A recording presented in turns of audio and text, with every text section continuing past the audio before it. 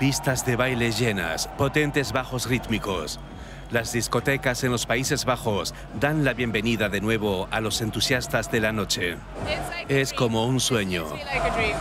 El paradiso de Ámsterdam tiene que aplicar estrictos controles. Los 1.500 asistentes tienen que presentar un pasaporte COVID expedido por el Estado que demuestre que están completamente vacunados, recuperados o que tienen un test negativo. Somos muy estrictos. Solo dejamos pasar a los que tienen un código QR válido con confirmación de identidad. No lo pueden copiar ni pasárselo a nadie.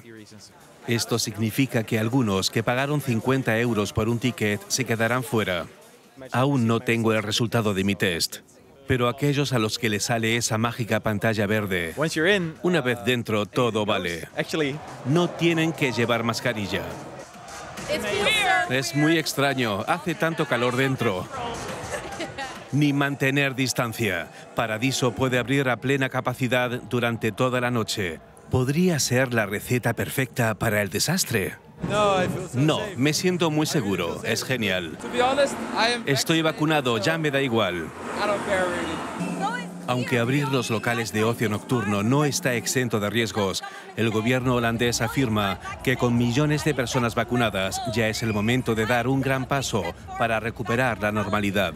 El DJ holandés Reinier Sonneveld participó en eventos de prueba que fueron la antesala de la reapertura. Tras un año terrible para la música en vivo, cree que es la decisión correcta. La vida está llena de riesgos pero creo que nuestro gobierno lo ha hecho de forma inteligente. Tienen a muchos expertos asesorándolos. La música en vivo, bailar, es más importante de lo que podríamos pensar. Puede parecer algo irrisorio, pero la gente lo necesita. Necesitamos festejar, sentirnos bien, conocer a gente nueva, bailar al ritmo de la música. Fuera de esta burbuja de fiesta, la amenaza del virus y las nuevas variantes es todavía muy real. Pero esta noche, Ámsterdam baila como si no hubiera pandemia.